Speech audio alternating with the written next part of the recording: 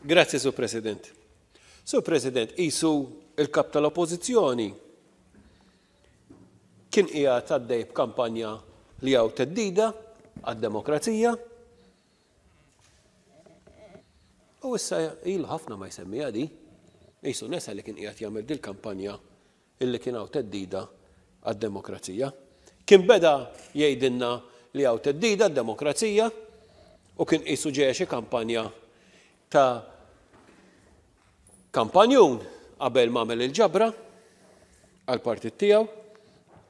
għaliex uħud li huma fil-Partit Nazzjonalista jgħidulek illi l-Partit Nazzjonalista għandu problemi serji finanzjarji u allura qishom kellhom din il-kampanja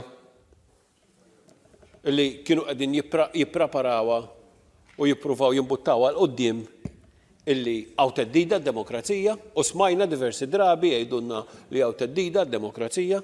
Imma issa wara li għamel il-ġabra għall-partit tiegħu Qisu nesa li beda din il-kampanja.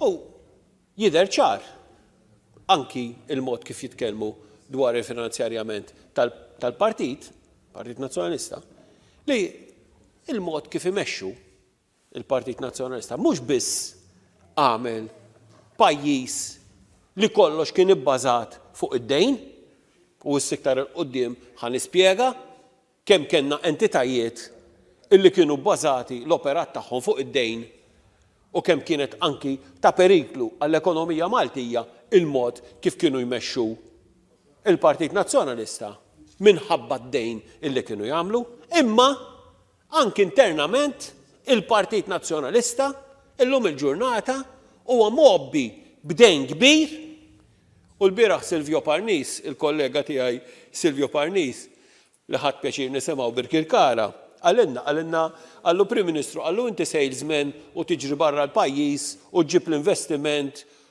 lejn pajjiżna. U ta' talli qed tagħmel dan qed jgħajruk salesman. Qallu imma Simon Busuttil salesman ukoll, għax dan qed ibigħ il-każini tal-Partit Nazzjonalista, mhux biex jagħmel il-ġid. biex iħallas id-dejn, anzi ngħid anki l-imgħaxijiet tad-dejn, li l-Partit Nazzjonalista akkumula b'mod intern hu wkoll.